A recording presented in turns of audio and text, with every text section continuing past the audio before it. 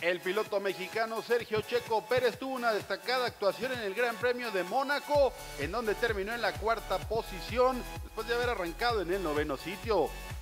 Pérez contó con una extraordinaria estrategia de Red Bull y un gran manejo a lo largo de la competencia, lo que le permitió recortar posiciones y meterse prácticamente al podio.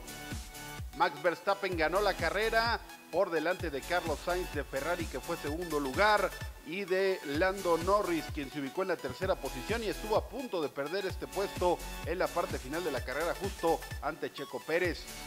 Con la victoria, Verstappen es ahora líder del campeonato por delante de Lewis Hamilton, mientras que la escudería Red Bull es ya también líder en la campaña y en el campeonato de constructores.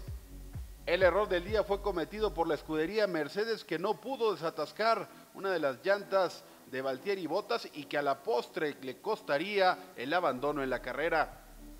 De esta forma Red Bull sale con carro completo de la competencia al llevarse la primera y la cuarta posición y recuperar el liderato de la categoría de piloto y constructores en este Gran Premio de Mónaco.